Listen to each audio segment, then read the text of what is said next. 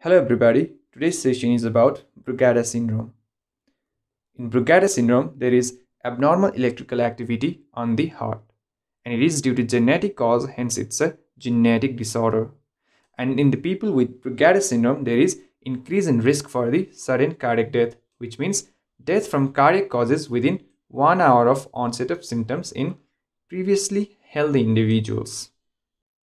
Most individuals of Brugada syndrome have no identifiable genetic cause, but some individuals can have mutation in the gene SCN5A.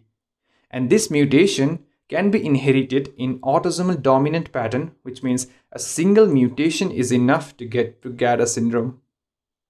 Some medications like antiarrhythmic drugs can block the sodium channels and can cause Brugada syndrome. In the cardiac muscles of our heart, we have cardiac sodium channels. These sodium channels will control the excitability of the heart or they control the electrical activity of the heart. And these sodium channels are encoded by the gene SCN5A.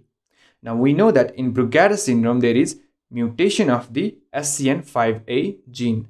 So when this gene is mutated, then there is loss of function of the cardiac sodium channels. So these cardiac sodium channels, they cannot function. And if they cannot function, then there will be reduced excitability of the heart or the electrical activity of the heart will be normal, which can lead to ventricular arrhythmia and ultimately sudden cardiac death.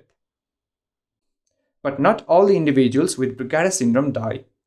Some survive the first episode of the arrhythmia, and these patients might present with palpitations, fatigue, and shortness of breath.